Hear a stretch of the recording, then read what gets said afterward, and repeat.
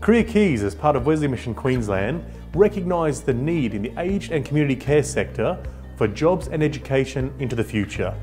In conjunction with our partners Sarina Russo, we have developed a program that provides hope for the unemployed or underemployed and to walk alongside those in need.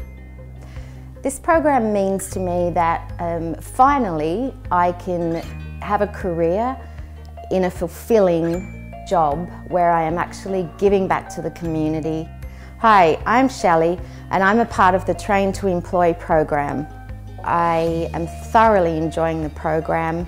As we are employed by Wesley Mission, this course enables us to study but also earn over the 18 months. The end result is going to be amazing to be out in the community and to be helping people who deserve to be helped and taken care of. The Train to Employ model is designed around our ethos of enriching lives and in strengthening communities.